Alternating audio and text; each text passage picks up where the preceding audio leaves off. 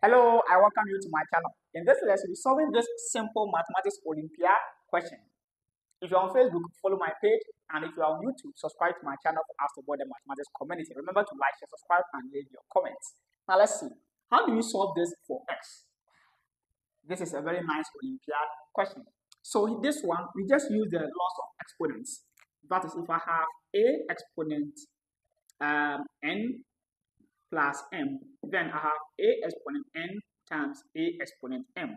So from here, I'm going to have 20, 24 exponent x times 20, 24 exponent 20, 23 because 20, 23 exponent x times 20, 23 exponent 20,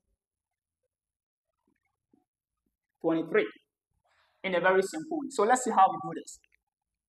now from here, wow, what can we do? Um, we are not using calculators, so we are not going to take any logarithm, right? That will not help us. So let's see this.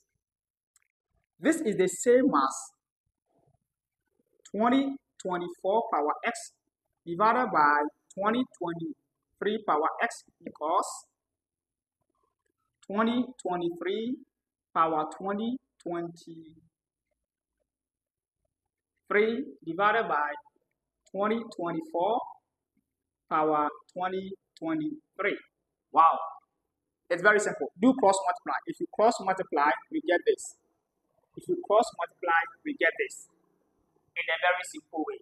So now, here, what can we do?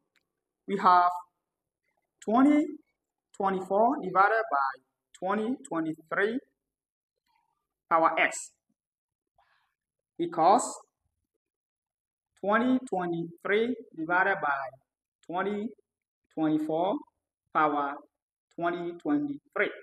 Remember, if I have a on b power n power n, then it's a on b all power n in a very simple way. So what is inside here is not equal to what is inside here. So should we take logarithm? Wow, we're now going to take any logarithm, right? Let's use the laws of exponents. Wow, look at this. If I have um, a on b power positive n, then it's equal to a on b power, sorry, it's equal to b on a power negative n in a very simple way. Uh, check the description for that video. I have uh, how to evaluate um, the laws of exponents so that it will improve your understanding. So here, you're going to pick one of them and change the inner one. So let me pick this one.